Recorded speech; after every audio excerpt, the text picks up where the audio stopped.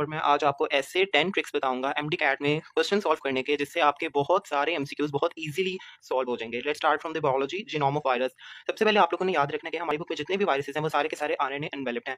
कुछ उनमें से डी एन एनवेलप्ड है एनवेलप वैसे का वैसे ही रहेगा, और कुछ उनमें से R N A non enveloped है, इनमें आर एन ए वैसे का वैसे ही रहेगा।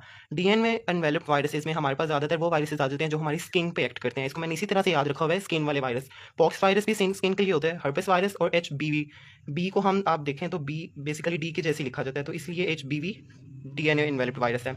इसके अलावा दूसरी कैटेगरी उन वायरसेस की आती है जो R N A non enveloped है। नॉन एनवेलप्ड इन ये ज़्यादा खतरनाक वायरसेस होते हैं तो इसके अंदर आप H A V virus H E V virus और साथ ही साथ पोलियो वायरस इस तरीके से आप इसको याद रख सकते हैं। इसके इन छः के अलावा कोई भी वायरस का आप, आपसे जिनोम पूछ लिया जाए तो आप आँखें बंद करके उस पर आर एन एनवेलप पर टिक कर देंगे।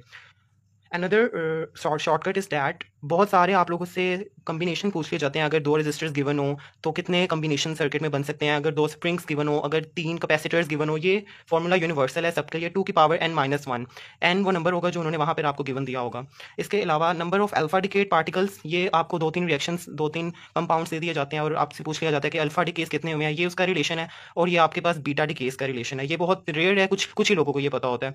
एक चीज़ आप लोगों ने याद रखनी है कि पेरेंट माइनस डॉटर होता है। यहाँ पे भी पेरेंट माइनस डॉटर इसके अलावा ली चैटलियर प्रिंसिपल का एक बहुत ही अच्छा शॉर्टकट है एक्साइल एक्साइल की अगर हम इसको एक्सप्लेन करें इस शॉर्टकट को तो एक्साइल में ex exothermic reaction I increase in temperature L E left side पे रिएक्शन हो जाएगा।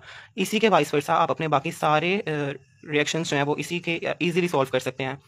इसके अलावा पार्बो वायरसेस आप लोगों से पूछ जाते हैं, सबसे ज़्यादा स्मॉलेस्ट वायरस कौन से तो वो पार्बो वायरस है। पार्बो वायरस के अंदर ही पोलियो वायरसेस आ जाते हैं। इसकी स्मॉलेस्ट होने की वजह यह है कि नॉर्मली हम जानते हैं डीएनए डबल स्टैंडर्ड होता है, लेकिन पार्बो वायरसेस के अंदर डीएनए सिंगल स्टैंडर्ड है। सिंगल स्टैंडर्ड होने की वजह से उसका साइज़ सबसे ज़्यादा स्मॉलेस्ट हो जाएगा। इसके अलावा स्मॉलेस्ट बैक्टीरिया के बारे में भी आपसे पूछ लिया जाता है। स्मॉलेस्ट बैक्टीरिया माइकोप्लाज्मा ये ऑलमोस्ट सब बच्चों को पता होता है। लेकिन ये भी इसका एक, जिस तरीके से इसको मैंने याद रखा हुआ है, वो ये है कि इसके अंदर सेल वॉल नहीं होती। जब वॉल नहीं होगी तो इसका साइज़ सबसे ज़्यादा श्रिंक हो जाएगा, छोटा हो जाएगा। उसके अलावा आप लोगों से बहुत चार ऑप्शन दे दिए जाते हैं और पूछ लिया जाता है, इनमें से कौन सा ऑक्टेट रूल फॉलो कर रहा है, कौन सा ऑक्टेट रूल को फॉलो नहीं कर रहा। Octet rule is that having eight electrons in the valence shell तो आप लोगों ने two multiply by lone pair plus bond pairs इस तरीके से अगर आंसर एट आ जाए तो वो वाला कंपाउंड इसको फॉलो कर रहा है और अगर एट से ज़्यादा आ जाए टेन आ जाए ट्वेल्व आ जाए और अगर एट से कम आ जाए सिक्स आ जाए फोर आ जाए तो वो कंपाउंड ऑक्टेट रूल को फॉलो नहीं कर रहे। इसके अलावा एंटी नोट्स की पोजीशन या एंटी नोट्स का डिस्टेंस आप लोगों से पूछ लिया जाता है, उसका रिलेशन यह two n minus one multiply by lambda over four n वो नंबर होता है जहाँ पर उसकी पोजीशन पूछी गई है आपसे।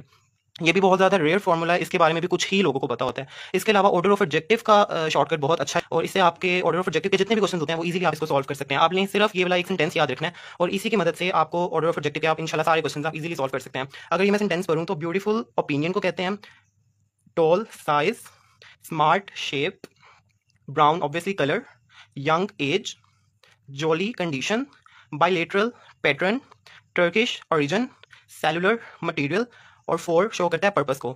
इस तरीके से आपने सिर्फ़ ये याद रख लेना एक सेंटेंस और इसी से आपके टेन के टेन ऑर्डर ऑफ़ ऑब्जेक्टिव के सारे के सारे क्वेश्चन आपके इजीली सॉल्व हो जाएँगे।